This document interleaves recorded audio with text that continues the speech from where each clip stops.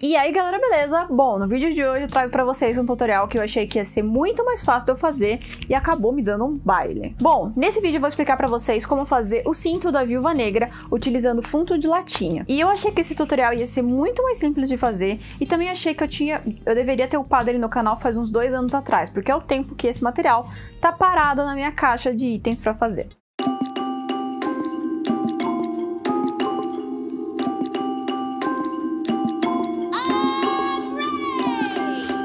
Coisa que você precisa fazer é separar fundos de latinha. Eu utilizei lata de cerveja, mas qualquer fundo de lata que tenha a cor prateada básica, né? Você consegue. Melhor ainda se ele não tiver nenhum tipo de marcação nesse fundo de latinha. Eu utilizei não contei ainda quanto eu utilizei. 1, 2, 3, 4, 5, 6, 7, 8, 10, 11, 12.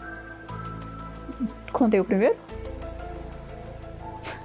Acho que foram 12. 12 ou 13 fundos de lata para fazer. Mas você vai depender de quanto você quer o espaçamento entre eles e qual a circunferência da sua cintura. É interessante você pegar o cinto que você vai usar de base e medir quanto é a distância entre cada um deles para saber quantos você vai precisar usar para fazer a circunferência inteira. Então, o primeiro processo é pegar todas as latas que você quer e recortar as, os fundinhos. É importante que você tenha muito cuidado. Recorte e lixe todos os fundinhos. Não faça que nem eu fiz, tentei adiantar o meu processo de trabalho, não lixei todos eles e me cortei durante o processo. Eu preciso de ajuda.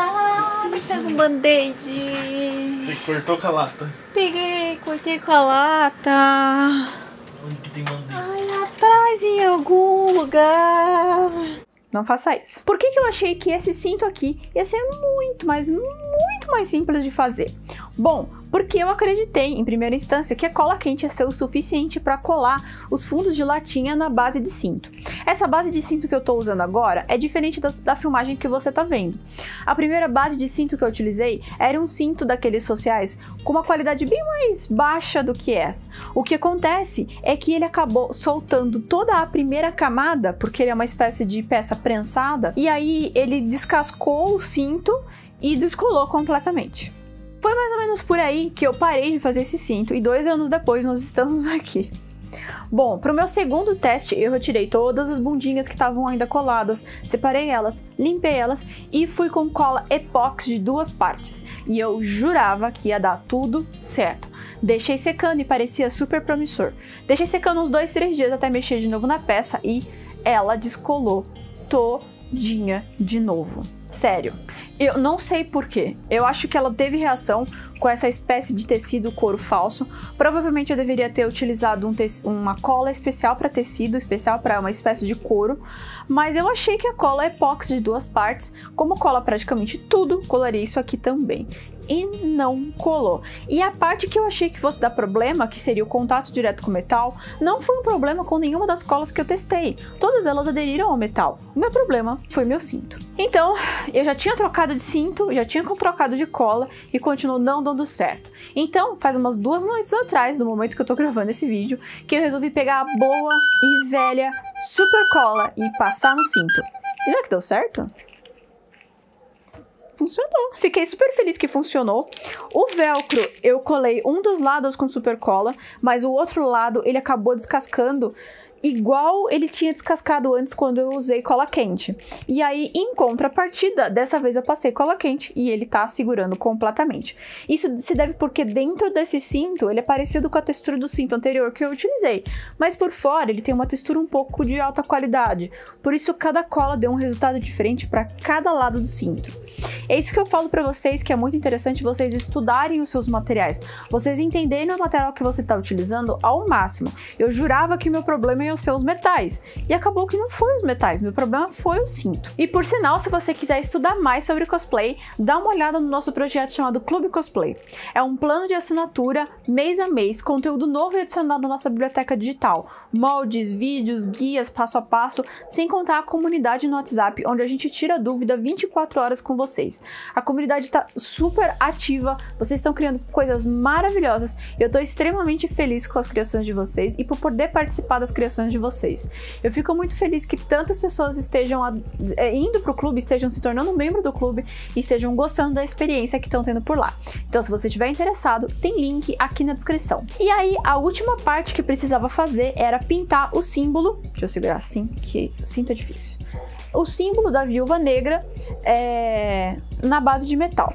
Nem todos os tipos de tinta colam bem e fixam bem em metal. Pensando nisso, eu utilizei a tinta que ia ser mais fácil, que com certeza ia pegar no metal, que era esmalte. Como é uma peça bem pequenininha, eu acho que até que não é nenhum desperdício usar esmalte. Se você nunca fez a conta, esmalte deve ser um dos itens mais caros para fazer pintura, porque a gente às vezes paga dos 20 reais em 5 gramas, nem isso.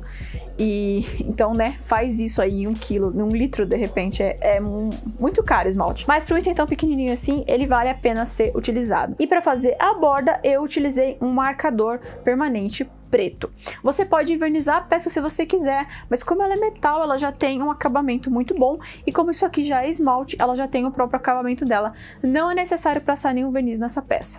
Eu gostei muito de fazer ela, eu vou fazer um cos teste de Viva Negra em, em breve, utilizando esse cinto, e vou postar ele, se tudo der certo, no meu Instagram e no meu TikTok. Se você quiser dar uma olhada, tem link aqui também na descrição, mas tá aparecendo na tela para vocês as minhas redes sociais. Nas minhas redes sociais eu sou mais ativa vocês dias, dias. Eu conto o que tá acontecendo, a gente faz umas enquetes. É uma interação bem diferente do YouTube. Então, se você estiver interessado em acompanhar mais o meu trabalho, dá uma olhada nas minhas outras redes sociais. E é isso, gente. Apesar disso aqui ter dado bastante trabalho, de ter ficado dois anos parado na minha caixa de itens para fazer, eu fiquei bem satisfeita com o resultado final. Eu acho que para um cosplay baixo custo, que era o que eu focava em fazer isso aqui, e eu sempre trago para vocês conteúdo que é baixo custo, que você pode fazer com que tem em casa. Basicamente é um cinto velho que o seu pai, seu primo, seu tio, você vai jogar fora, um monte de latinha de cerveja de Coca-Cola que você pode utilizar, um pedacinho de velcro velho, que foi literalmente o que eu utilizei, um pouquinho de super cola, que foi o que acabou dando mais certo aqui, é uma das colas mais baratas de você utilizar, todo mundo tem às vezes uma super cola em casa, e um pouquinho de esmalte. Se você não tiver esmalte, eu acredito que marcador vermelho sirva como o marcador preto serviu aqui também. E então é isso, eu espero muito que vocês tenham gostado. E se você chegou até esse ponto se perguntando por que cargas d'água eu tô usando um tapa-olho, é porque eu tô com um problema nesse olho aqui e eu não posso fazer maquiagem nesse olho e eu também não posso deixar ele direto com luz, essas coisas tem que proteger. Então por isso eu tô usando os tapa-olhos, vocês vão ver eles em alguns vídeos, provavelmente ainda, porque eu tenho coisas para gravar e eu não posso esperar esse olho se recuperar completamente. Então tá tudo bem, já tá sarando já, o pessoal que me acompanha no Instagram já sabe que já tá super bem, que foi um susto mas que já tá se resolvendo. E por um tempo eu vou evitar de passar maquiagem, então vocês vão me olhar com tapa-olhos riquíssimos que eu fiz. Por sinal, eu quero ver se eu trago um conteúdo sobre tapa-olhos e personagens, porque eu vi que tem bastante personagem de tapa-olho e eu acho que vocês vão gostar bastante, pelo menos o pessoal do Instagram pareceu bem empolgado para esse tipo de conteúdo. Então é isso, eu espero que vocês tenham gostado. Eu fico feliz de tirar mais um item da minha caixa de coisas para fazer e até a próxima.